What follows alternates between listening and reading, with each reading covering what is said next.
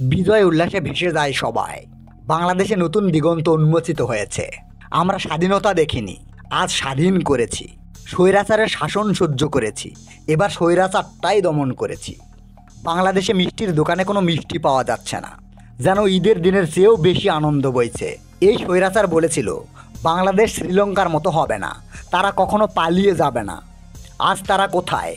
দুর্ভিক্ষণ যন্ত্র দিয়েও তাদের খুঁজে পাওয়া যাচ্ছে না। ক্ষমতা চিরকাল থাকে না দাম্ভিক্যও চিরকাল থাকে না। শেখ হাসিনাকে ভারত ছাড়া কেউ জায়গা দিবে বলে আমার মনে হচ্ছে না। মানুষের মৃত্যু কামনা করা হয় না।